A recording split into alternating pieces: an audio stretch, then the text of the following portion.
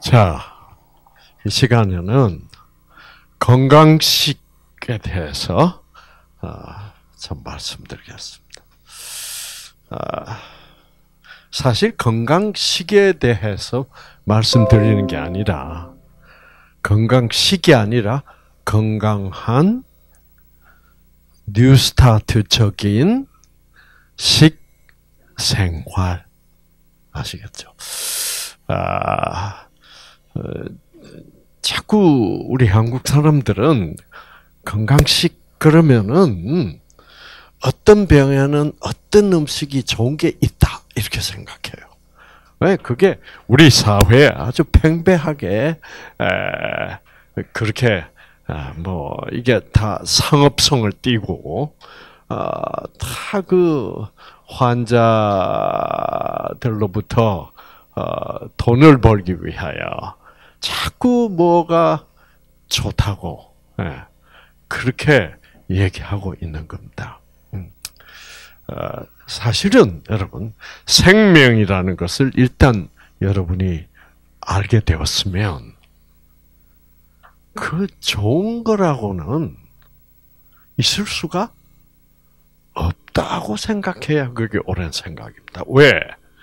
어, 자, 우리 건강에 좋은 거다. 아, 질병의 치유에 좋은 거다.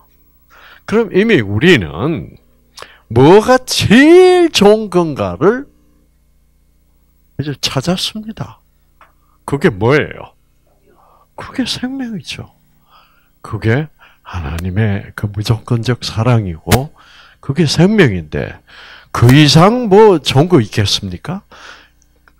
그리고 이 생명이 오고, 그 다음에 기본 여건, New Start라는 기본 여건을 여덟 가지를 아, 기본 여건을 구비해 주면 유전자 회복으로 치유가 된다는 것은 그것은 누가 하는 일이에요?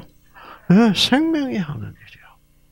아, 그래서 그걸로서 끝나야 되는데 자꾸 우리가 아그 어, 습관적으로 뭐에는 뭐가 좋다, 뭐에는 뭐, 뭐 뭐가 뭐 당뇨에 좋다느니 뭐 개똥쑥이 뭐에 좋다느니 막 이런 부수한 이런 아 것들이 예, 아, 소문난 것들이 있습니다. 음. 여러분 아무리 소문이 많이 나와 봐야 지나가면은 다 시들한 거예요. 여러분 한때 주겸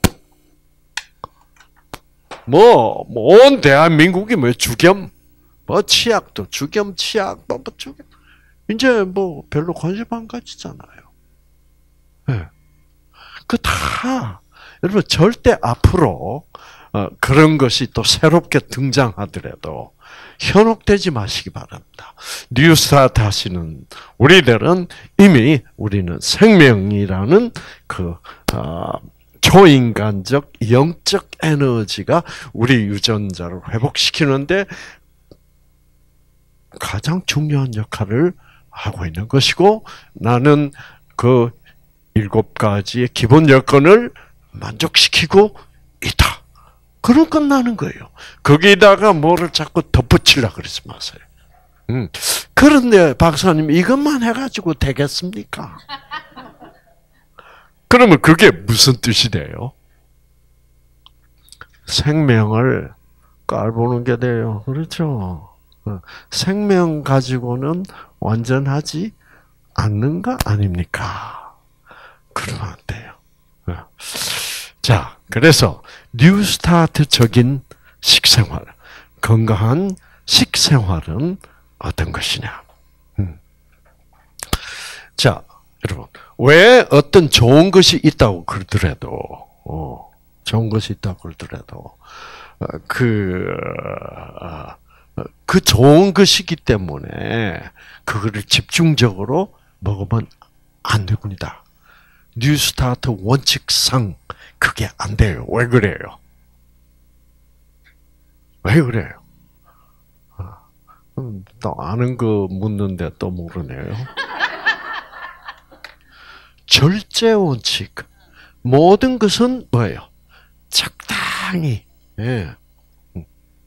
우리 여기 오 회장님이 예, 그, 어, 그 건강식 그그 어, 어, 예, 예, 그, 가신 아주 누가 아이디어를 꺼냈는지 조그만 봉지, 조그만 봉지에 탁 찢으면 한 번에 잠깐 먹을 수 있는 그 견과류, 뭐, 땅콩도 들어있고, 네, 아, 알몬드도 몇 개 들어있고, 호두도 몇 개 들어있고, 아, 그게 또 애교로 또 초콜릿 칩 가정. 아, 그래서 참, 그러니까 뭐 좋은 거를 많이 먹으라는 게 아니고, 이렇게 고루고루 잡수세요. 하는 그 아이디어를 혹시 사모님이 낸 거 아니에요? 그래서 그 음. 근데 이 절제 원칙은 원칙대로 하면 아무리 좋은 것이라도 너무 과하면 해롭다는 겁니다. 아시겠죠? 어. 해롭다는 그걸 아셔야 돼요. 어. 자, 여러분. 그래서 모든 것을 어떻게 해요? 적당히 먹어야 돼요. 자, 우리 건강에 유전자의 가장 좋은 것, 중요한 것이라면 생명입니다. 이 좋은 것 중에 좋을수록 많이 섭취해야 되는 것은 생명 이외에는 없습니다. 나머지는 좋은 것일수록 적당히 먹어야 돼. 적당히 섭취해야 돼. 자, 생명 다음에 우리 건강에 결정적으로 중요한 게 뭐예요? 이거 없으면 5분 후에 죽어. 공기예요. 산소야. 산소, 생명이 없어지면, 생명이 없어지는 순간 뭐예요? 죽어버려요. 그만큼 우리는 매 순간마다 생명이라는 이 특수한 영적 에너지에 의존하고 있죠. 근데 공기가 없어져도 5분 내지 6분은 살아있어요. 음. 그만큼 공기가 중요해요. 그 공기 중에 있는 산소가 그렇게 중요해요. 어. 그래서 심지어 사람들은 산소가 생명이다라고까지 말할 만큼 어, 그렇게 우리 건강에 결정적으로 중요해요. 그러니까 산, 어, 생명 이외에 산소만큼 중요한 게 없어 사실은. 그래서 우리 건강에 그런 결정적인 영향을 미치는 산소. 그럼 그만큼 좋은 산소니까 계속 산소만 숨 쉬고 있으면 좋을까? 큰일 납니다, 여러분. 그렇게 좋은 산소도 산소가 이 건강에 좋으니까 산소 탱크를 차고 다니면서 계속 산소만 숨 쉬면 죽어요. 네, 큰일 납니다. 네. 아, 공기 중에 우리 산소가 몇 프로예요? 20%예요. 20%. 아. 그러면 산소가 좋으니까 실험실에서 어, 딱 이렇게 공간을 만들어 가지고 실험 동물 쥐를 어, 넣어놓고 아 이거를 산소를 25%를 공급하자. 그러면 20%가 건강할까요? 25%가 건강할까요? 20%가 건강해요. 그러니까 아, 그렇다고 그렇다고 해서 어 그러면 더 뭐예요? 줄여보자. 18%. 그러면 그것도 해로워요. 그러니까 생명 이외에는 모든 것에 그 적정 그러니까 체온도 그렇잖아요. 적정 체온이 있다는 거. 음. 아, 우리 한국 사람들은 그거를 자꾸 무시하고 뭐 뜨겁게 해가지고 뭐요 땀을 찔찔 흘러야 어, 좋다고 이상한 그런 생각을 가지고 있어요. 어. 그러면 독감 걸려서 열나면 좋아해야지. 그렇죠? 어. 그래서 여러분 독감 걸렸을 때 열은 왜 나는지 아세요? 열이 나면 여러분 사실 우리가 편해요, 안 편해요? 안 편해요. 체온이 떨어져도 안 편해요. 그 이유는 뭘까요? 안 편한 이유는 뭘까요? 유전자가 제대로 작동하지 않아서 그래요. 그러니까 우리 몸을 구성하는 모든 세포 안에 있는 유전자가 생명을 받아도 제대로 작동을 못해요. 어. 그만큼 적정 체온이란 것이 중요한 거예요. 그래서 우리 인간은 36도하고 37도, 1도 사이에서 왔다 갔다 해야 돼. 그래서 제일 이상적인 체온은 36.5도다. 아주 예민합니다. 그래서 조금 떨어져서 36도 가면 벌써 아 조금 이상. 그래서 36도 이하로 떨어져 아영 컨디션 없죠. 그래서 35도 되면 이뭐 저체온이다 이렇게 되는 거예요. 그러면 36도 어, 이하로 떨어지면 벌써 면역력에 문제가 생겨. 왜? 생명이 들어와서 왜 이게 기본 여건이 맞지 않으니까 유전자 그 어, 면역 세포 안에 들어있는 유전자 작동이 느려지는 거예요. 그리고 또 그다음 봐요. 체온이 37도 이상 돼도 마찬가지. 그래서 우리가 감기가 들 때가 언제가 들어요? 추워서 감기가 드는 게 아니에요. 아, 추워서 체온이 내 떨어지기 때문에 체온이 떨어지면 생명이 우리 면역세포 유전자에 잘 작용을 못해서 면역력이 떨어지니까 내 몸에 들어와 있던 내 코 속에 이미 어, 며칠 전부터 들어와 있던 감기 바이러스가 활동하기가 쉬워서 그래서 추우면 감기가 걸리는 거예요. 어, 잠시 추운 동안에 면역력이 떨어지죠. 어, 그러다가 뜨뜻한 데서 체온을 정상화 시켜주고 한 좀 쉬면 면역력이 어떻게 해요? 회복해서 감기 바이러스를 억제하니까 감기가 떨어지는 거예요. 네. 그래서 감기약이라고 하는 것이 참 웃기는 겁니다. 아, 아, 저는 의사로서 미국에 한국에 살던 시간보다 미국에 더 오래 살았는데 미국 약국에 가서 감기약 달라 그러면 없어요. 그런 게 어딨냐고. 왜? 감기는 면역력이 떨어졌을 때 감기 바이러스가 활동을 시작해서 생긴 것이기 때문에 감기를 나으려면 어떻게 해주면 되는 거예요? 면역력을 회복시키면 돼. 그 면역력을 해서 내 체온을 회복시키고 내가 어자 어, 특히 어느 날 친구하고 술을 마시고 어, 어 나와서 집에 가려고 어, 택시를 잡으려고 하는데 택시가 안 잡힌다. 근데 되게 춥다. 그러면 술도 면역력을 떨어뜨렸고, 그 다음에 네, 추위도 떨어뜨려서 그래서 감기가 걸리는 거죠. 어. 근데 그게 무슨 약이 있겠어요? 약이 존재한다면 그 감기 바이러스를 죽이는 약이겠죠. 근데 감기 바이러스 죽인 약 없어요. 음. 어, 뭐 B형, C형 간염도 어, 다 바이러스 때문에 걸리는 거지만은 바이러스를 직접적으로 죽이어서 간염을 낫게 하는 약은 없어요. 궁극적으로 바이러스를 죽일 수 있는 것은 우리 면역 세포에서 그 유전자가 켜지면 바이러스를 죽이는 물질을 생산해 가지고 음, 음. 아, 그래서 우리 면역 세포들이 바이러스를 죽여 주는 거죠. 그렇죠.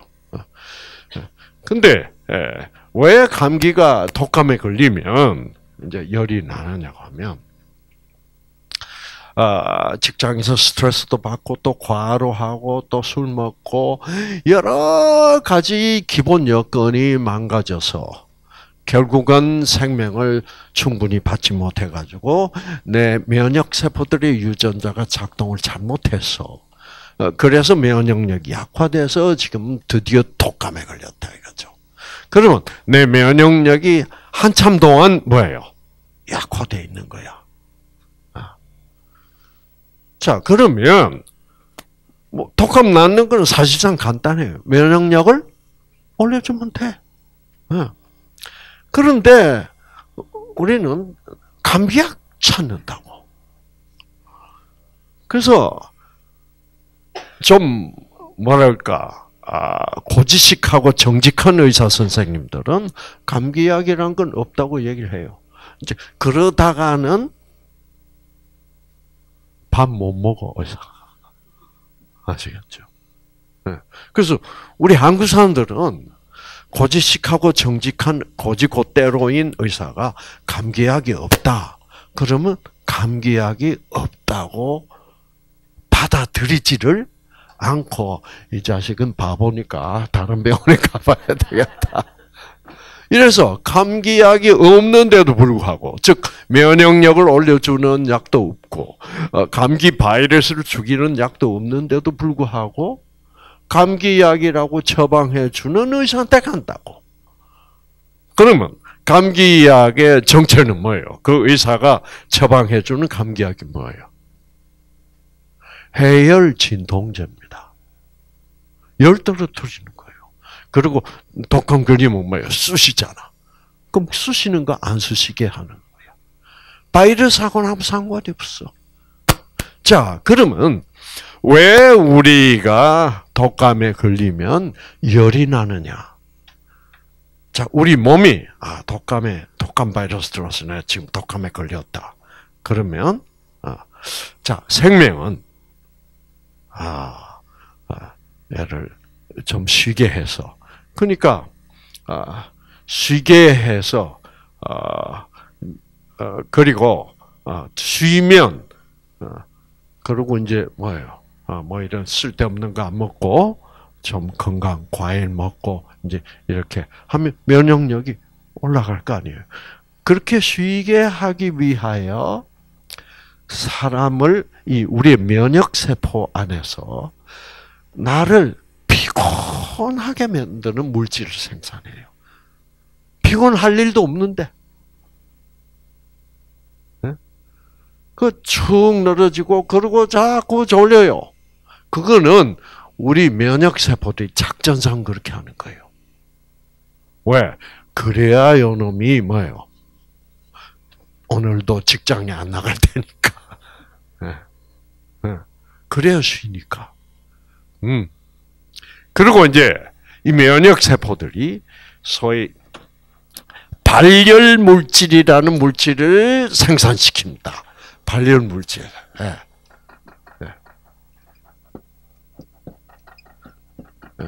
이것을 저희 파이로겐, pyrogen, pyrexin이라는 이런 물질을 여러분의 T 세포가 생산해요.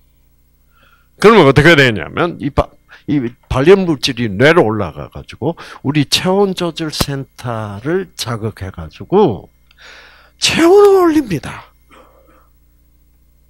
왜?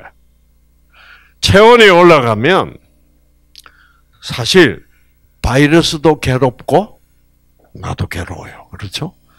그런데 아, 바이러스가 더 괴로워. 그래서 체온이 39도 이렇게 올라가면 바이러스가 허덕거려요. 그때 우리의 약해져 있는 면역 세포들이 바이러스와 싸우기가 더 좋아. 그래서 열을 내는 거예요.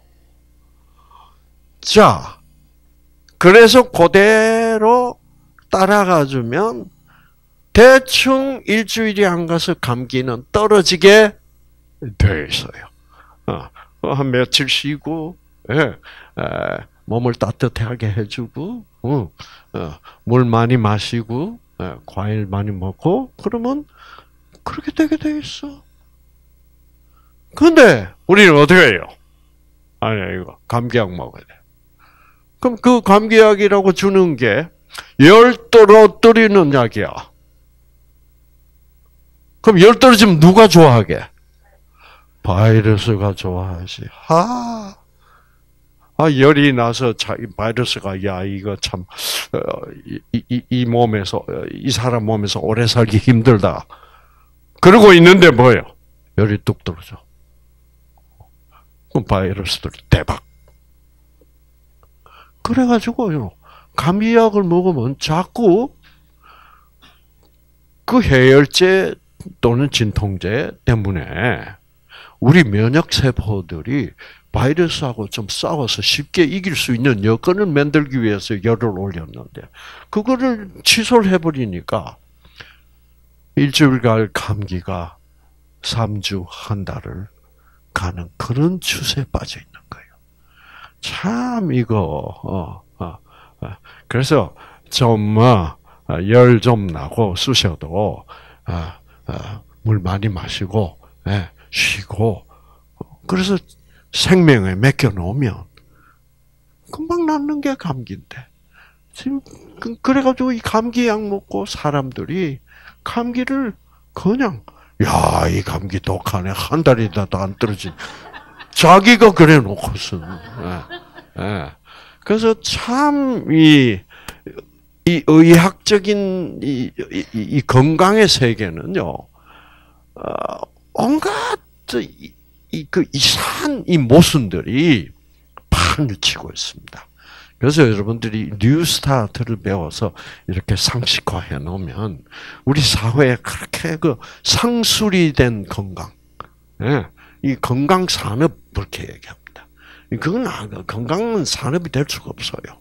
예, 이거는 뉴스타트의 원칙, 하나의 그 원칙을 도입하면 어, 생명과 함께 도입하면 어, 기본 여건을 도입하면 모든 것이 회복될 수 있도록 되어 있다 이 말이에요. 음. 자 그러면 아, 이제 왜 건강식이라고 하면서 이런 식으로 채식을 하느냐? 아, 그거를 여러분이 좀 아셔야 돼요. 아, 아 그, 우리, 인간의 그 질병의 가장 기본적인 원인 자체가 유전자의 문제입니다. 그렇죠? 유전자가 잘 작동을 안 한다. 유전자 작동의 문제는 결국은 생기, 생명 에너지를 받는 것이 그게 원활하지 않는 문제. 그 다음에 유전자가 물리적으로 손상을 입는 겁니다. 제가 아, 암에 대해서 강의해 드릴 때, 암세포라는 것은 우리 모든 인간의 몸 속에서 매일매일 생기고 있다. 누구든지. 왜 그럴까? 유전자가 손상돼서 그렇습니다. 그럼 왜 모든 사람의 몸에서 유전자가 손상되고 있냐?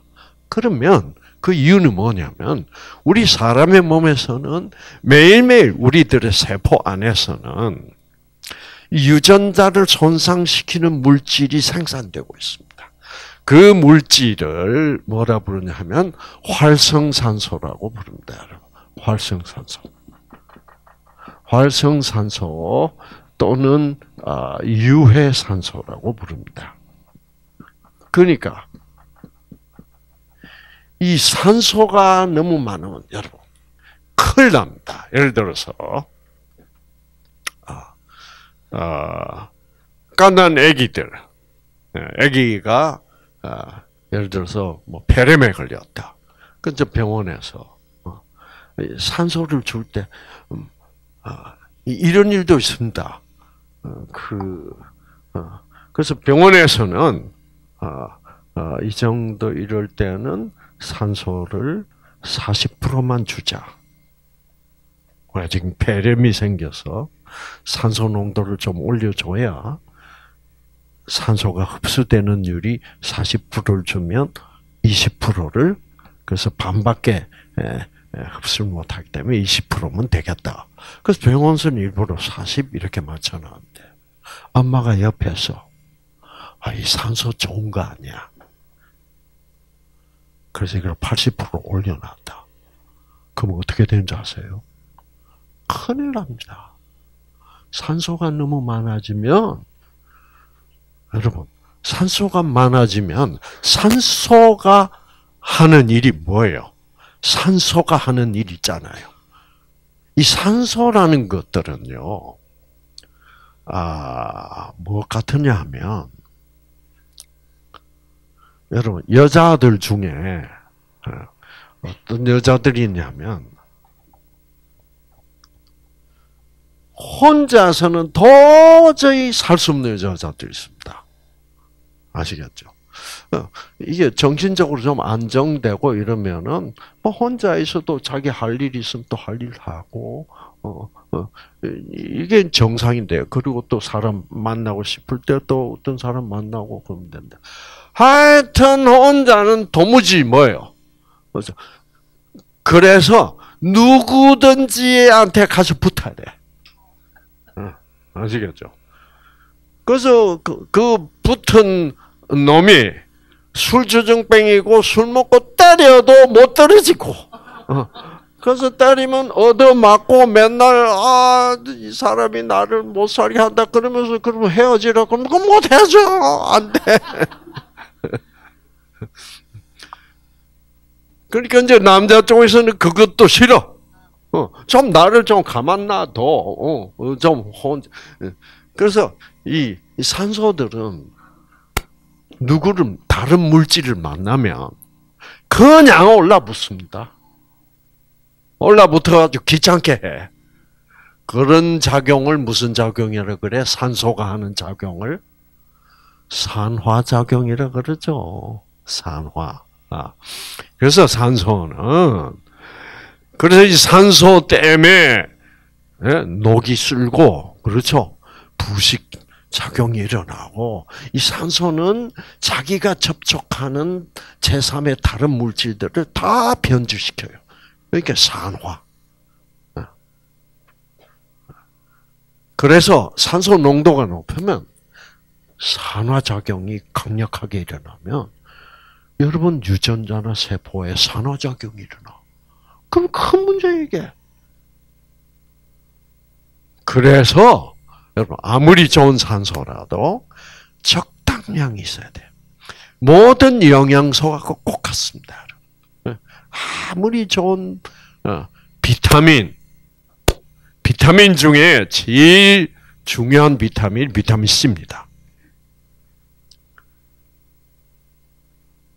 그 이 비타민 C도 너무 양이 많이 돼. 옛날에 한국에서 비타민 C가 막 비타민 C가 만병 만병통치약처럼 막 그래서 약국에 막 비타민 C 사러 댕기고 막 이런 적이 있었어요. 어, 그것도 벌써 한, 한 20년 된 것 같아. 그래서 한국 나와 보니까 이건 뭐 웃기지도 않아요. 어. 근데 나중에 비타민 그래서 그때 그 이론적으로 뭐라 그러냐면 비타민 C는 수용성 비타민이다.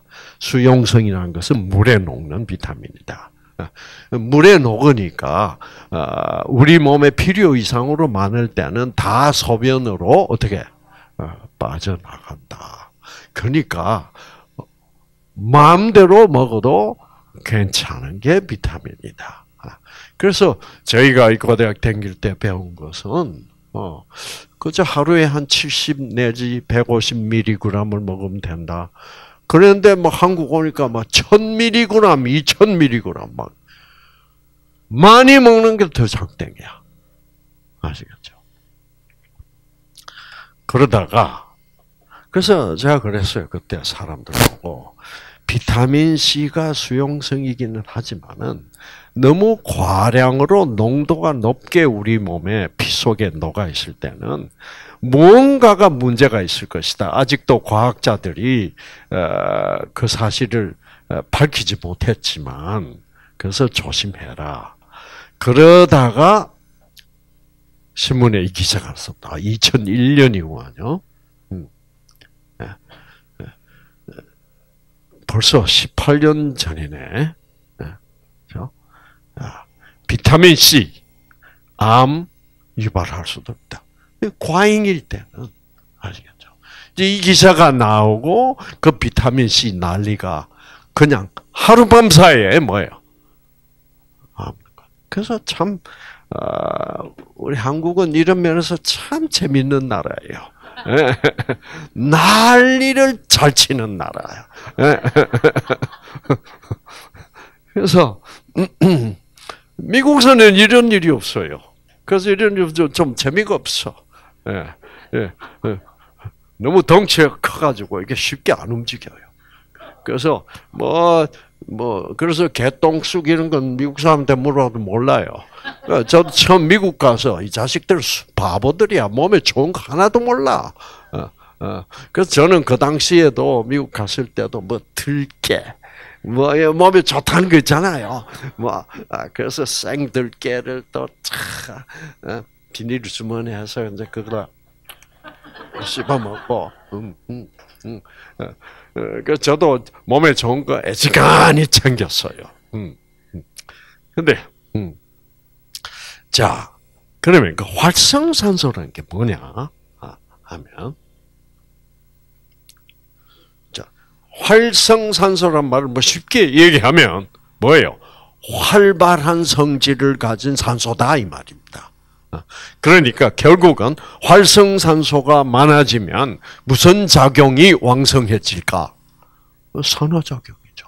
그럼 그러면 뭐가 사, 세포 속에 산소가 많으면 세포 막도 산화가 되고 세포 안에 있는 미토콘드리아도 산화 유전자를 구성하는 DNA라는 화학 물질도 산화 DNA가 돼.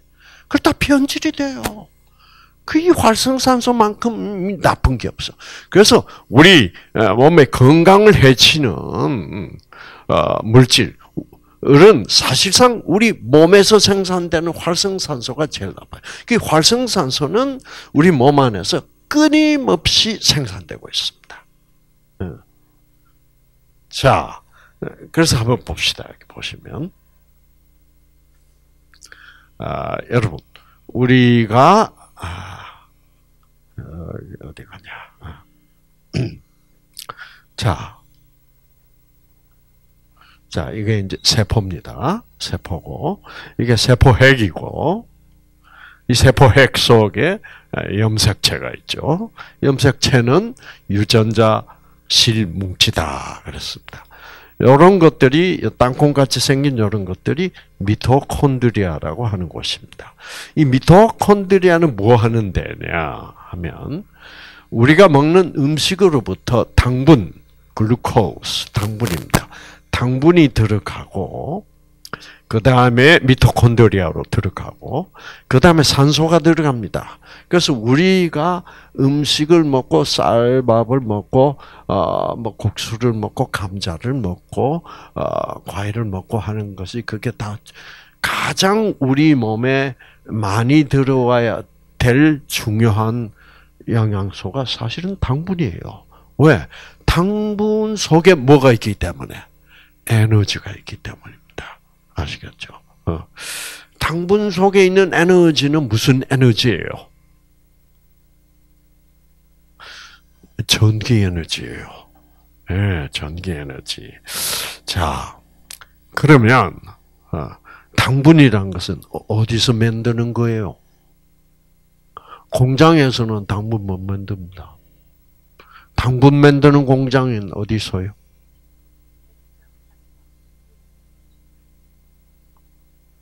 당분 만드는 공장은 공장이라는 공장에서 만들어요. 자, 영어로 공장을 뭐라 그러게? 네, 공장. factory라고 그러기도 하고 plant라고 합니다. 그래서 울진 같은 큰 핵발전소를 뭐라 그래요? nuclear power 플랜트라고 그래요. 플랜트라는 것은 그런 거대한 어, 어, 에너지를 생산해내는 공장이라 이 말이야.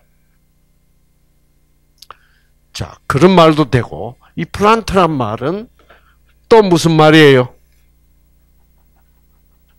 식물이란 말이죠. 식물. 그렇죠? 식물. 예. 땅에 뿌리를 어, 자라나는 식물. 그 식물을 왜 플란트라고 그럴까? 식물에서 에너지를 생산해요. 음. 식물이 에너지를 만들어내는 게 아닙니다.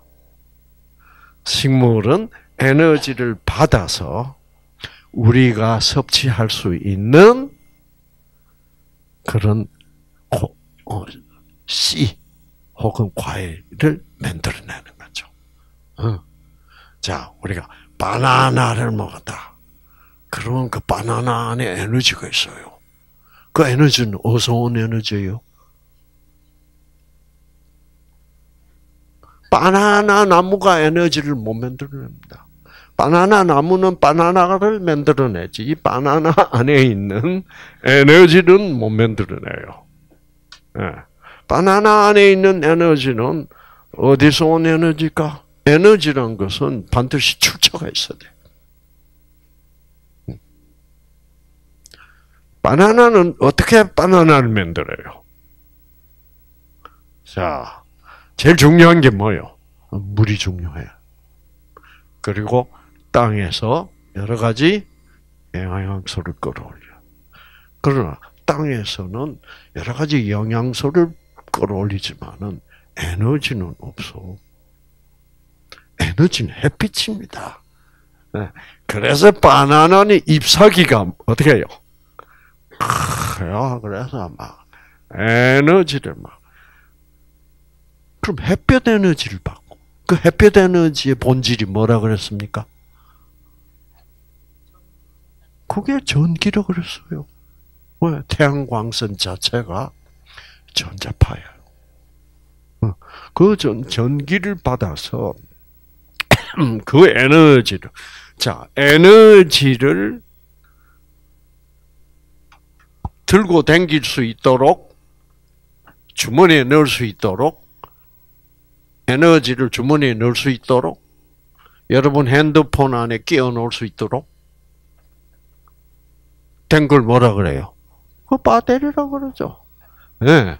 그래서 식물은 예를 들어서 사과 나무다, 바나나 나무다 하는 것은 사과를 생산해내는 공장이다 이 말이에요.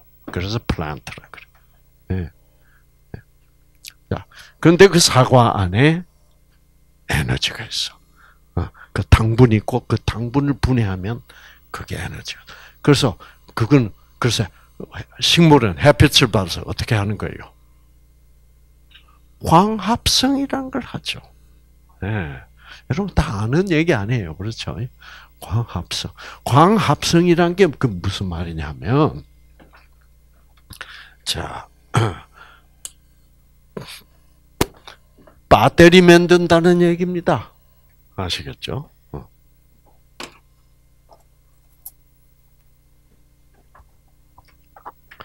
자, 우선 공기가 필요해요. 어, 식물은 배터리를 만들기 위하여 공기 중에 있는 뭐를 받아들여야 됩니까? 탄산가스, 그렇죠? 탄산가스를 흡수합니다. 탄산가스는 탄소에다가 산소가 붙어 있는 겁니다. 그래서 CO2라고 그래요. 식물은 산소는 필요 없어. 그래서 탄산가스를 받아들여 가지고 산소는 어떻게 내뿜어 뿌립니다. 예, 탄산가스 흡수해 가지고 탄소만 가지고 있고 산소는 내뿜어 뿌려. 참. 그게 이제 우리는 또 산소가 필요해. 네. 네, 참 묘하게 돼 있죠. 그렇죠? 음. 참 하나님이 잘 조직적으로 해놨어요. 그래서 식물은 이 산소, 어, 탄소. 그래서 탄소는 까만 거예요. 그렇죠? 그래서 우선 탄소를 이렇게 그려놓읍시다. 까만 거. 탄소다. 그리고 식물은 또 뿌리로부터 뭐를 빨아올려요? 네, 물을 빨아올린다. 네. 자, 그래서 그래서 이렇게 탄소와 물이 화합한 물질을 무슨 물질이라 그래요? 여러분 다 아는 거예요. 간단해. 이렇게 쉬운 게 없어. 탄, 수, 화물이라 그래요. 보세요. 다 배운 건데, 참. 자, 그래서, 탄, 어, 어.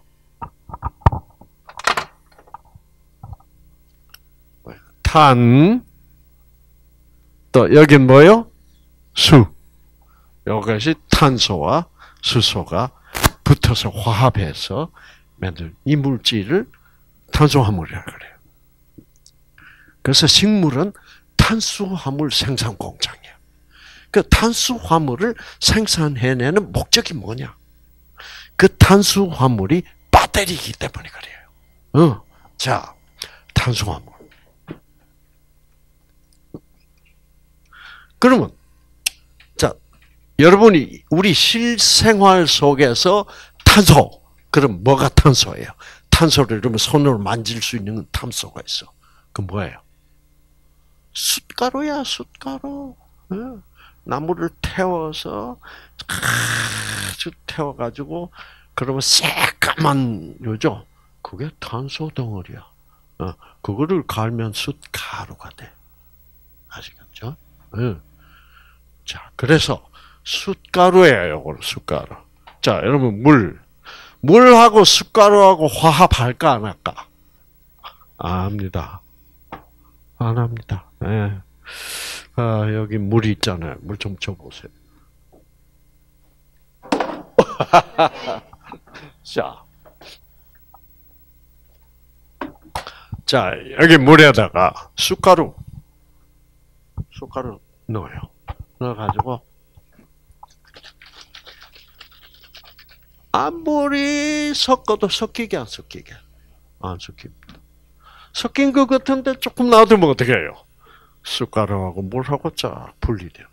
이거를 디립다 열을 가해서 끓여도 안 돼. 근데 이 탄수화물은 어떻게 붙어 있을까? 참 희한하죠. 그래서 식물이 우리 사람이 만든 공장에서는 이거 이거 만들기 힘들어. 그런데 하나님이 들판에 만들어 놓은 식물이라는 공장 잘 만들어내 탄수화물을. 하나님이 왜 탄수화물을 만들어내야 돼? 여기다가 뭘 집어넣으려고요? 태양광선, 에너지. 그래서 그 태양에서 온 전기 에너지가 와가지고 탄소와 물을 탁 결합시켜서 그걸 탄수화물이라 그런 거죠. 네. 참 놀랍죠, 그렇죠? 그래서 우리가 탄수화물을 먹으면 어떻게 되는 거예요? 물은 소변을 통해서 나가고 그 다음에 이 탄소는 어떻게 하는 거예요? 우리가 공기 중에서 들어오는 산소를 마셔서 이 탄소하고 산소하고 결합시킨 뭐가 돼 또? 또 탄산가스가 되면 그거를 숨 쉬어서 내보내요. 그래서 우리는 얌체처럼 물도 내보내고 탄소도 내보내고 그 탄수화물 속에 들은 뭐예요? 전기만 먹는다고. 예. 네. 그리고 그렇게 살아요. 그래서 우리 몸 안에는 뭐가 흐르고 있습니까? 전기가 흐르고 있어. 그러니까 안 먹으면 전기 없어지면 죽어요. 그 그게 굶어 죽는다. 어, 전기 없어서 죽어요. 그 전기가 있어야만 생명 에너지가 올때 예, 우리 몸 우리 생명 에너지가 그 우리 몸을 흐르는 전기를 이용해서 유전자를 조절할 수 있단 말입니다. 아시겠죠? 왜? 생명 에너지는, 영적 에너지는 우리 몸을 흐르는 생체 전자파, 아, 뇌파, 이다 전기 에너지라. 전기 에너지는 탄수화물로부터 들어온 거예요. 이렇게 체계를 알아야 돼, 체계. 예. 참 묘하게 돼 있어요. 깃 이런 걸 기똥차게 돼 있다는 거 아시겠죠? 어. 정말 너무 너무 재밌게 돼 있어요. 응. 참 우리 이 초등학교, 이 중학교 이런 데서 이렇게 재밌게 가르치면 애들이 더 똑똑해질 텐데 우리는 다 외워가지고 하니까 나중에 끝나고는 뭐가 뭔지. 네. 아는 것도 모르고 모르는 것도 아는 것 같긴 한데 뭐 그, 그런 거. 어, 그 주입식 교육의 문제. 그래서 이, 이 책에 이렇게 해서 이렇게 아 그러면 애들이 공부를 얼마나 좋아하게 가요. 어. 자, 그래서 이 탄수화물은 바데리입니다. 아, 그 바데리 공장이 식물이야. 그래서 식물을 공장, 플란트라고 부른다 이 말이에요. 음. 자, 아, 멋있죠. 자, 그런데 예, 그런데 여러분 아, 이 탄수화물이 이제 예, 탄수화물이 전분이 될 수도 있고 당분이 될 수도 있고 그래요. 어. 그래서 그 당분은 달아요, 그렇죠? 그러니까 이 단 당분은 이 세상의 모든 생명체들이 좋아하는 겁니다. 거. 예, 예. 그러면 이 세상 모든 생명체들이 좋아하는 것이 왜 다, 단, 단맛일까? 이 세상에 존재하는 생명체들에게 제일 중요한 게 뭐예요? 네, 자, 중요한 게 첫째는, 아, 이 전기 에너지가 중요해요. 왜? 이거 없으면 생명을 받아봐야 소용 없으니까. 그렇죠? 자, 그래서 이 전기 에너지와 그 다음에 뭐예요? 생명 에너지입니다. 그래서 생명 에너지 본질 여러분 아시다시피 사랑이야. 그렇죠? 어. 그런데 이, 이 탄수화물에서 나오는 전기 에너지가 왜 달까요? 그것도 사랑이야. 아시겠죠? 예. 그래서 사랑의 맛이 있다면 단맛입니다. 그래서 우리가 달콤한 사랑이라. 예, 예, 예. 시큼한 사랑이라는 거 없어요. 예. 사랑, 쓰디쓴 사랑이 사랑 아니야. 아, 사랑은 그래서 하나님 묘하게 놨죠. 어, 사랑이 우리에게 생명으로서 중요하고 또 단맛도 이게 전기가 우리에게 꼭 필요한 거니까 이것도 이것도 우리가 모든 사람이 좋아하면서 먹어야 돼. 네, 그렇죠. 네, 그래서 다 단맛을 내게 해놓고 그 다음에 생긴 것도요 다 아, 사랑스럽게 생기게 생겼어. 그렇죠. 어. 어. 아, 복숭아. 이뻐, 안 이뻐? 하트처럼 생겼어. 그렇죠? 네. 그래서 이 탄수화물 단맛을 내는 여러 과일들 보면 다 그 기본 형태가 하트입니다. 사랑을 상징하는 하트예요. 어, 예, 그렇게 얘기했더니 어떤 사람이 저보고 그러더라고. 박사님 바나나는 아니, 지 않습니까? 아 그래서 아 이거 말이 탁 맥히더라고요. 어, 그런데 불현듯 제가 뭐라 그랬냐면 바나나도 하트입니다. 어 바나나가 어떻게 하트냐? 그두 개 딱 붙여 보세요 하트가. 그렇죠? 자, 그래서 그래서 이 자연은요 이 사, 한, 사랑이신 하나님이 창조하신 것이 돼가지고 좀 불편하더라도 어, 여러분 그렇잖아요. 이 바나나 같은 게 이렇게 생겨 가지고 이게 포장해 가지고 뭐 운송하기가 뭐예요? 아, 그렇습니다. 그리고 사과도 아, 그냥 아, 정 뭐요? 어,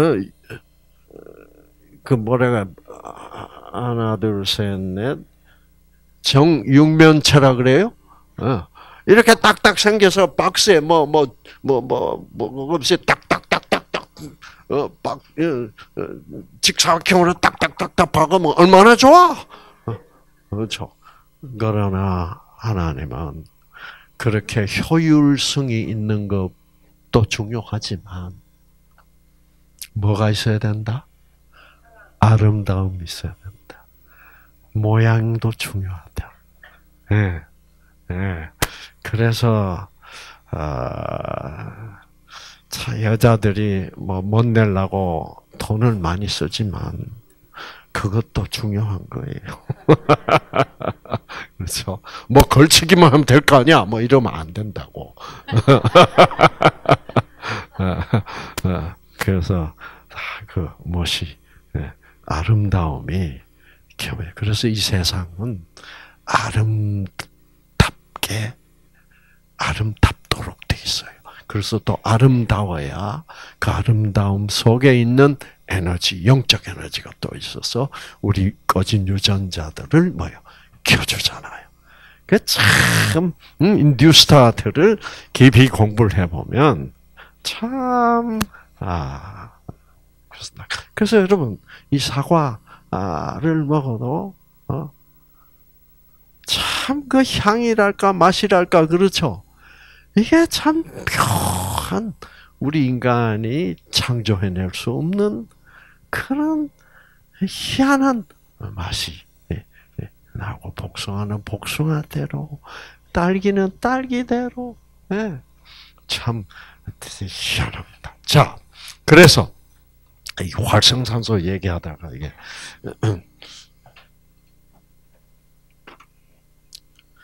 자, 그래서 여기 이제 당분이 들어오고 어, 산소가 들어옵니다. 뭐, 뭐, 뭐하게 여기서 미토콘드리아 왜 당분이 들어와? 왜 산소가 들어와요? 여기서 미토콘드리아 안에서 당분을 연소시키기 위해서 그렇습니다.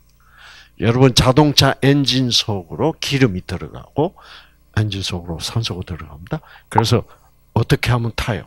시동을 쫙 걸어주면 엔진에 뭐가 가요? 스파크가 갑니다. 그래서 여러분의 미토콘드리아에도 그 놀라운 생명 스파크가 일어나고 있습니다. 네. 그래서 생명 스파크가 치치칙 하고 오면 그 미토콘드리아 안에서 당분이 연소가 됩니다. 연소가 되면서 그래서 이 탄소와 물이 분리가 되고 그 탄수화물 속에 있는 에너지가 드디어 미토콘드리아 안에서 탄수화물 속에 에너지가 노출이 되는 거예요. 그러면서 그 에너지가 태양에서 온 전기 에너지가 내 세포 안으로 이동하는 것입니다. 아, 놀랍죠? 그래서 사실은 태양이 우리에게 전기를 공급, 공급하고 있는 거예요. 음. 그러니까 태양이 그 쓸데없이 있는 게 아니에요. 여러분 뭐 어, 얼굴에 잡티 만들라고 태양이 있는 게 아니에요. 음. 그 요즘 여자들은 막 태양을 적대시 하더라고. 그래가지고 뭐 복면을 쓰고 댕기고 뭐 했더니 태양은 참 좋은 거야. 어, 반드시 있어야 될 자, 그래 그런데 이 탄수화물의 미토콘드리아에서 일어나는 탄수화물의 연소 과정에서 부산물로 발생하는 것이 바로 활성산소입니다. 그러니까 이 활성산소는 항상 우리가 살아있는 한 생산될 수밖에 없어요. 어. 그런데 이 활성산소가 이거는 할 수 없이 생산되는 거. 이 활, 이게 이제 활성산소입니다. 이 활성산소가 생산이 돼가지고 미토콘드리아를 파괴합니다. 자, 이 미토콘드리아를 파괴하면 이 미토콘드리아 안에서 에너지가 나오는데, 그렇죠? 미토콘드리아 자꾸 파괴되면 어떤 사람이 될까? 에너지가 없는 사람이 돼.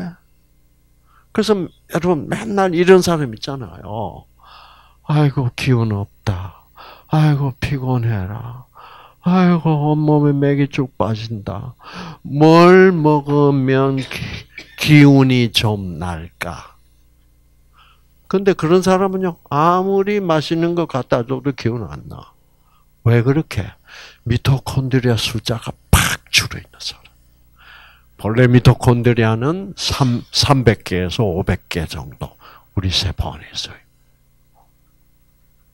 근데 미토콘드리아가 100개밖에 안 되는 사람이 있어. 그 사람은 아무리 맛있는 거 먹어도 어떻게 미토콘드리아 숫자가 100개밖에 안 되니까 보통 사람은 에너지를 300을 생산하면 이 사람은 뭐예요? 100밖에 생산을 못해. 그러니까 맨날 힘이 없지. 미토콘드리아 숫자가 왜 그렇게 떨어졌을까요? 활성산소 때문에 미토콘드리아 숫자가 줄은 거예요. 어, 여러분 여기 보시는 것처럼 이 활성산소가 와서 미토콘드리아를 파괴, 산화시켜. 그리고 세포막을 파괴해. 세포막이 파괴되면 세포가 죽습니다. 세포 그래서 활성산소가 너무 많이 세포막을 손상시키면 세포가 많이 빠른 시간 안에 많이 죽어요. 그렇게 되면 사람이 뭐가 빨리 오겠습니까? 노화입니다. 세포 빨리빨리 죽는 게 노화예요. 그러면 노화시키는 물질이 뭐냐? 활성산소입니다. 네. 그럼 여러분이 빨리 안 늙으려면 어떻게 해야 돼? 이 활성산소를 어떻게 해야 돼? 아시겠죠? 이게 여러분의 건강 상식에서 가장 중요한 얘기입니다. 음. 그래서 우리 몸에 병을 일으켜 그렇죠. 그리고 이제 이 활성산소 또, 또 어디를 가요? 또 염색적 유전자로 가요. 그래서 유전자를 또 손상시키죠. 변질시켜. 그러니까 이 활성산소가 우리 건강을 해치는 주범입니다. 물론 환경 오염 물질들도 많죠. 그러나 우리 내부에서 세포 안에서 발생하는 이 활성산소만큼 우리를 해롭히는 물질이 없어요. 음. 그래서 여러분 보세요. 담배 연기가 폐암을 일으킨다고 하지만은 어, 물론 담배 연기 속에 있는 발암 물질들이 폐암을 일으키는데 공헌을 하는 것은 확실합니다. 어. 그러나 그러나 담배 연기 속에 있는 그 발암 물질만 가지고는 폐암에 잘 걸리지를 않습니다. 어, 담배 연기 속에 있는 그 발암 물질에다가 뭐가 합세해 줘야 될까? 활성산소가 합세해 줘야 됩니다. 네. 그러면 어, 담배를 많이 피워도 폐암 안 걸린 사람 있죠? 그렇죠? 담배 별로 안 피웠는데도 폐암 걸리는 사람 있죠. 그왜 그럴까요? 그거는 결국 담배 연기 속에 있는 발암 물질보다는 활성산소가 더암 발생에 공헌하고 거예요. 자, 그럼 예를 들어서 이런 경우. 음. 자, 어떤 친구가 어, 차, 일을 열심히 하다가 어, 아 휴식 시간이 왔다. 아, 담배 한 대 꺼내서 하면서 어, 하면서 아, 아 상구거나 뭐 새끼 잡히기만 잡혀봐라. 내가 절대로 가만 안 놔둔다. 지가 내 돈 떼먹고 어디로 도망가려고. 그 이제 담배 피우는 시간마다 뭐예요? 열받아. 분노해. 그리고 증오해. 그러면 자 그렇게 자 그런 사람은 활성산소의 영향을 더 많이 받습니다. 왜 그럴까요? 그 참 요걸 알아야 돼. 요게 여러분의 앞으로의 그 건강을 유지하는 데 참으로 중요한 얘기입니다. 자, 이 활성산소가 그러니까 이것만 보면 하나님이 양 작품을 잘못 만든 것 같아. 그렇죠? 어, 활성산소가 생산되는 것도 못 막고 또 생산돼 가지고 이 미토콘드리아도 파괴하고 또 세포막도 유전자도 손상시켜서 병나게 해놨어. 그럼 하나님 뭐 하는 거예요 이거? 어.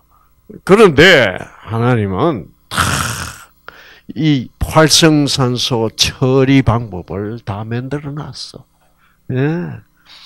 자, 여러분의 간세포 안에 이 노란색 물질, 노란색 물질을 생산하는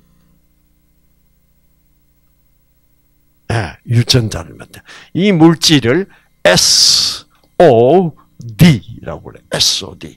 SOD라는 물질을 생산한 유전자를 딱 만들어 놨어요. 그 SOD는 뭐 하는 물질이냐면 활성산소가 생산이 돼 가지고 미토콘드리아를 파괴하러 가자. 예, 세포막을 파괴하러 가자. 유전자를 손상시켜서 병 일으키러 가자. 할 때 이 SOD가 생산이 되면 이 활성산소를 어떻게 해요? 일로 끌어당깁니다. 끌어당겨 가지고 분해시켜 버려. 분해시켜 가지고 뭘 만드냐면 활성산소를 뭘로 변환시키냐면 물과 산소로 변화시켜 가지고 오히려 우리 건강에 좋은 물질로 만들어 버려. 그 하나님이 그렇게 해놨다고요.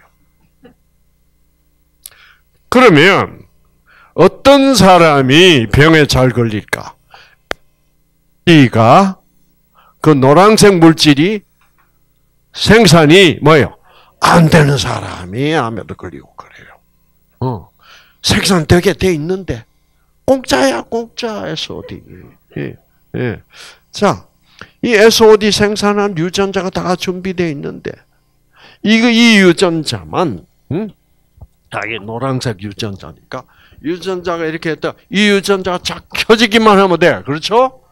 그러면 SOD는 공짜로 생산이 돼가지고 여러분의 미토콘드리아 안에서 생산하는 모든 활성산소를 뭐요? 다 물과 산소로 변화시켜버려. 이렇게 멋지게 해놨다. 그러면 여러분 어떤 사람이 SOD를 잘, 생산을 잘 못하는 사람일까요? 예? 부정적.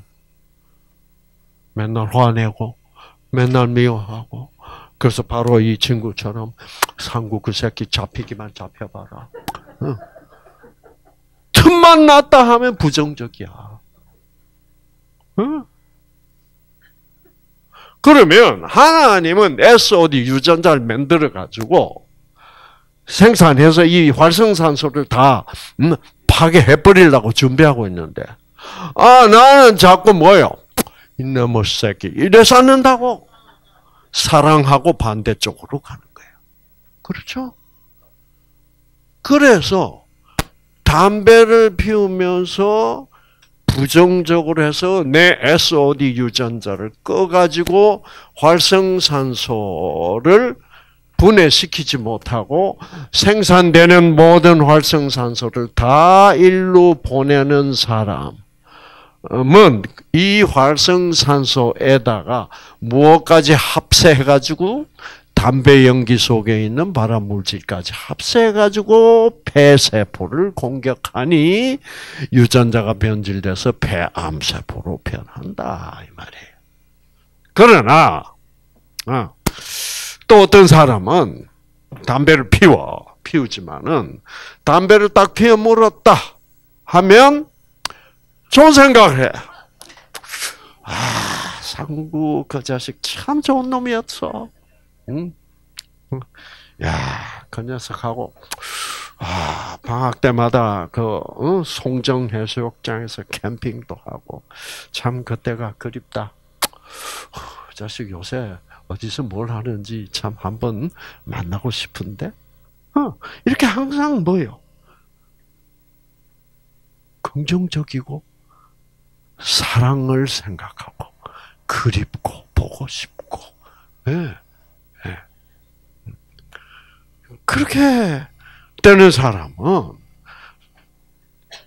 담배 연기 속에 있는 발암 물질이 활성산소하고 연합군을 형성할 수가 없어서 담배 연기만 들어가니까 단계 연기만 가지고 변질되는 것은 약하다 이 말이에요. 그래서 그 조금 변질돼 봐야 우리 몸 안에서 변질된 유전자를 금방금방 어떻게 해요? 회복시켜 버려서 폐암에 안 걸린다 이 말이에요. 그러니까 결국은 우리의 생각, 내면의 환경, 우리의 마음의 환경이 건강에 이렇게 중요한 것이다 이 말이에요. 음. 자, 그래서 이 활성산소의 말로 우리의 건강을 망치는 가장 주범, 큰 주범이야. 그래서 이 활성산소만이라도 우리가 잘 처리를 한다면 아무리 공기 나쁜 서울에 살아도 이 활성산소만 잘 어, 처리를 한다면 비교적 건강하게 살 수가 있는 거예요. 아시겠죠? 어, 어. 그러면 여러분 그러면 활성산소를 잘 처리할 수 있는 사람이란 사람은 결국 어떤 사람이에요? SOD 유전자가 잘 켜지는 사람. SOD 유전자가 잘 켜지는 사람은 어떤 사람이에요? 생명을 잘 받는 사람, 긍정적인 사람. 그렇죠? 진선미를 추구하는 사람. 그리고 또 어떤 사람? 기본 여건을 잘 갖추는 사람은 SOD 유전자가 항상 켜져서 SOD를 잘 생산하면 이 우리 건강을 망치는 주범 노릇을 하는 활성산소일지라도 다 변질시켜 가지고 산소와 물로 만들어 버리니까 그런 사람이 건강하다 이 말이에요. 그런 사람은 어떤 사람이게? 뉴스타트 하는 사람. 아, 참. 아, 아, 이거 이래가지고 되겠습니까, 여러분? 예, 음, 예. 참, 음. 여러분, 이상구 박사처럼 강의를 이렇게 쉽게 하고, 이렇게 머리에 쏙쏙 들어가도록 가르쳐도 이렇게, 성적이 나쁘다니. 뭐 하는 거예요, 대학 교수?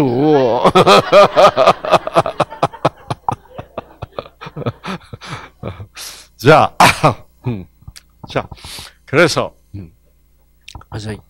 자, 그러므로, 하나님은 우리 인간을 창조해 놓고, 또 이곳에 사단 악령도 함께 있기 때문에 이 세상에 어쩌다가 이 사단이 우리하고 함께 살게 됐을까요? 그거 아주 중요한 이유입니다. 무엇 때문에? 사단하고 우리하고 함께 살면 우리가 고생 바가지예요, 아니에요? 고생 바가지예요. 왜? 그러니까 하나님이 사단하고 인간하고 이 지구상에 같이 살게 해놨어. 그럼 우리 보고 뭐 하라는 말이요? 고생하라는 말이요. 하나님이 왜 그랬을까? 그걸 알아야 돼요. 왜 인간은 이 지구상에서 이렇게 고생하고 살아야 돼? 이렇게 암 걸려가지고, 뭐, 당뇨에 뭐, 뭐, 고생 바가지를 하고 사는 거예요. 어? 그래서 여러분, 잘 생각하세요. 많은 사람들은 이 지구상의 삶이 참 좋은 삶이라고 생각해.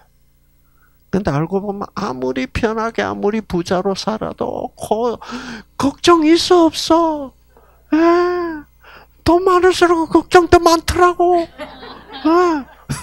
자, 그런 돈은 없, 없으면 없는 대로 문제고 이게 이게 여러분 여기는 좋고 지옥이 따로 있다라고 생각하는 생각 저는 동의하지 않습니다. 여기가 지옥이야. 네, 그래서 우리가 이 지옥에서도 누구와 함께 살면 하나님과 함께 하면 그것이 내 속에 하나님이 천국을 건설해 주는 거고. 그래서 이 지옥에서도 우리가 행복하고 건강할 수 있는 거고. 하나님을 받아들이지 않으면 나는 사단의 밥이야. 그러면 뭐 잘 사는 것 같은데도 행복하지 않아. 이것도 고민, 저것도 고민이야. 아, 아시겠죠? 그래서 어느 날 이 사단은 없어질 겁니다. 아시겠죠? 그렇게 되고 우리 모든 사람은 하나님을 받아들인 모든 사람은 진짜 하나 더 이상 사단은 존재하지 않는 천국.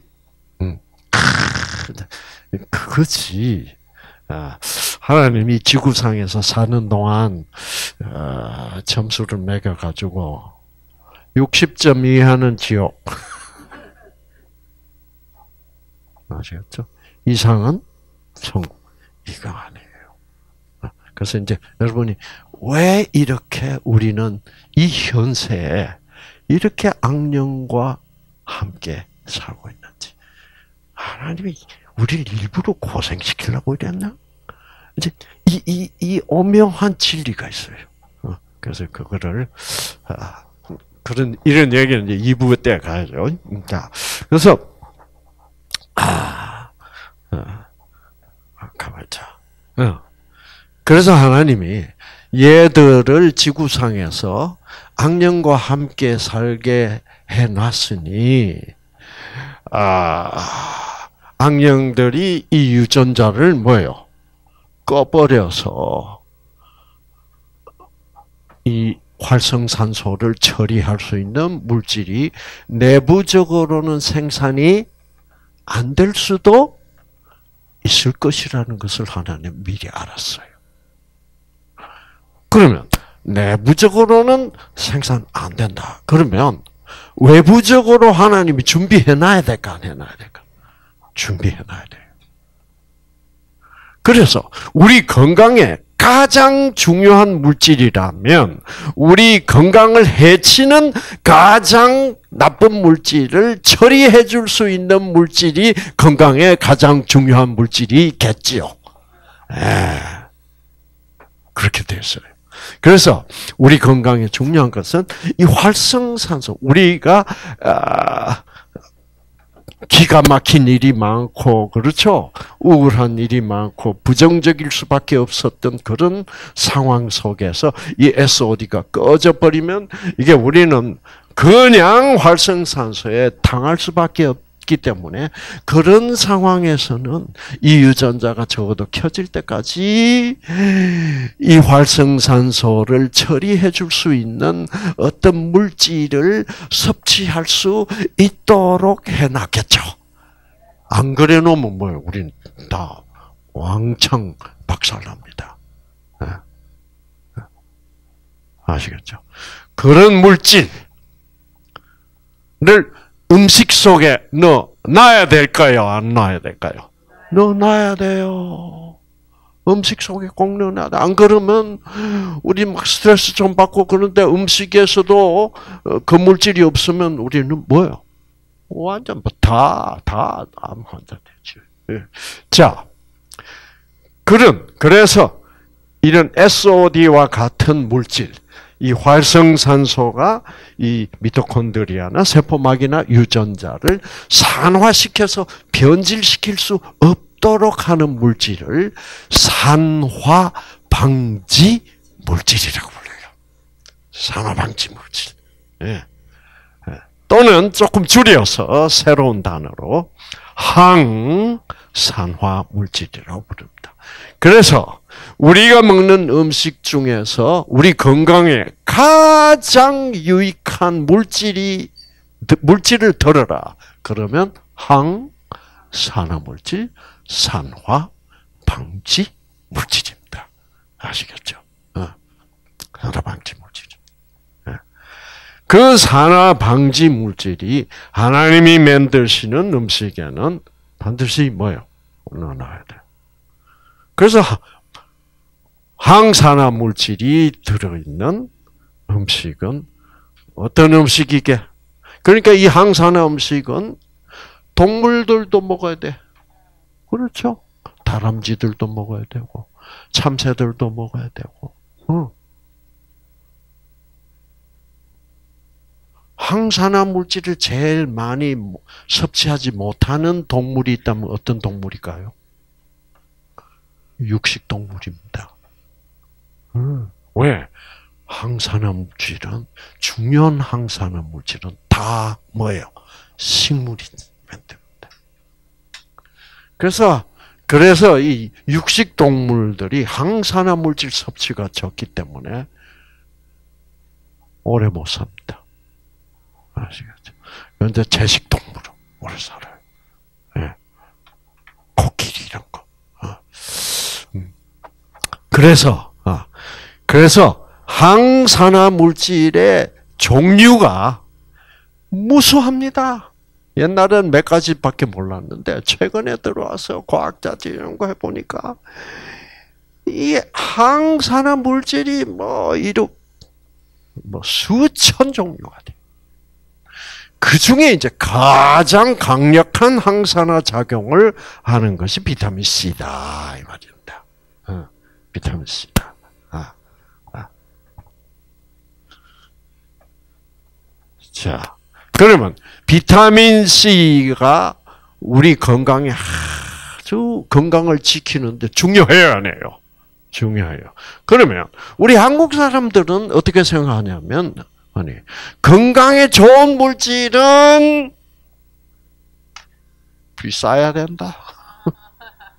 건강에 좋은 물질은 구하기 힘들다. 흔한 물질이 아니라 뭐요? 귀하다. 그래가지고 뭐 여러분, 어? 뭐 50년 건, 100년 건 산삼 한 뿌리에 뭐 5천만 원, 어? 그래서요. 그러니까 몸에 좋은 거는 너무너무 비쌀 것이고 귀하다. 하나님이 그런 하나님일까요? 그러면 그 하나님 침이 고약한 하나님이다. 그렇죠? 네. 하나님은 사랑이시다. 그렇다면 하나님은 창조자 하나님은 우리 몸에 좋은 것일수록 어떻게 해놨겠어요? 누구든지 먹을 수 있도록 해놨어. 그래야 사랑의 하나님이지. 그럼 비타민 C는 이건 너무너무나 중요한 거예요. 이거는 누구나 먹어야 돼. 사람만 먹어도 안 돼. 이거는 동물들도 먹어야 살아. 그러니까 비타민 C가 제일 최고로 중요한 산화 방지제로서 이거 이 비타민 C는 동물에는 없어요. 모든 식물성 음식도 아니야. 이거는 우리가 볼 때 음식도 아닌 것이지만 모든 식물에 비타민 C를 다 넣어놨어. 나무 껍질에도 넣어놓고 나무 뿌리에도 넣어놓고 예. 잎사귀에도 넣어놓고 꽃에도 넣어. 그러니까 새도 누구도 비타민 C는 뭐요? 얼마든지 먹도록. 그래서 중요한 것일수록 경상도 말로 천지 빽가리로 해놨어. 천지 빽가리. 쎄 밀리게 해놨어. 아시겠죠? 네. 주체를 못하도록 만들어. 네. 그래서 비타민 C보다 조금 덜 중요한 산화방지제. 그러면 조금씩 귀해집니다. 어. 그래서 비타민 C보다 조금 덜 귀한 거다. 그게 비타민 E입니다. E. E. 예. E는 현미, 옥수수, 보리, 밀, 이 씨눈에 있어, 씨눈. 아시겠죠? 어. 그러니까 여러분이 현미밥 먹는 한에는 비타민 E 걱정하실 필요가 뭐예요? 없어요. 여러분 뭐 맨날 비타민 C에다가 비타민 E 뭐뭐 뭐 그냥 얼마든 잡수겠죠. 그 다음에 비타민 E보다 좀 덜 중요한 것은 베타 카로테인이라는 물질입니다. 이 베타 카로테인은 식물성 색소예요. 색소, 색소. 음. 그래서 보시면 야, 식물에 자, 요런 요런 색깔을 내는 색소. 요런 색깔을 내는 색소. 이 식물성 색소 자체가 항산화 물질이. 그러니까 하나님은 이쁘게도 만들면서 그것이 그냥 이쁜 걸로 끝나게 하지 않고 아따 색깔도 이쁘다 그래가지고 벌써 그 아름다움으로부터 영적 에너지를 받게 하시고 그 다음에 물질적으로 그 색소로부터도 산화 방지제를 섭취하도록 만들어. 하나님 믿을만 합니까? 아, 안 믿는 이게 참. 네. 그래서 여러분 빨강색 예, 토마토, 딸기, 수박 뭐 이 빨간 색소도 산화방지제야. 예, 기똥 찰 일이죠. 어. 그러니까 하나도 뭐든지 왜 이렇게 빨가냐 그러지 마세요. 아직 그 노랑 수박도 있어요. 그럼 노랑색은 노랑색대로 산화방지 물질이라.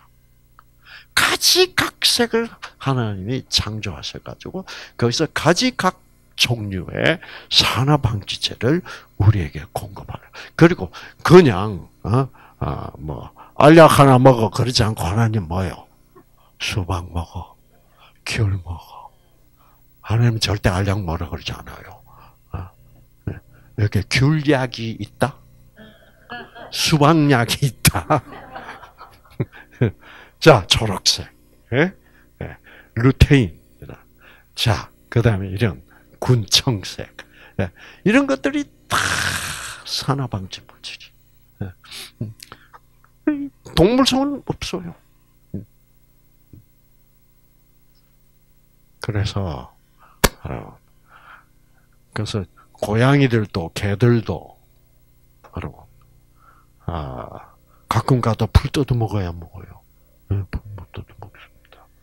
그런 이제 집에서 애완견으로 키우는 것들은 아, 뭐 과일도 나눠 먹고 그렇죠? 그렇기 때문에 산화 방지 물질 좀 많이 섭취합니다. 음. 그리고 사랑받고 그러니까 걔네들은 자기 자연 수명보다 어떻게 해요? 되게 더 오래 삽니다. 12년밖에 못 사는 것들이 16년, 17년 이렇게 사는 사랑받고 크는 어, 그 애완견들은 그 수명이 길어요. 어. 그래서 자 그러니까 여러분 음, 그러니까 이 산화 방지제 측면에서 봐도 건강식은 채식이라야 됩니다. 아시겠죠?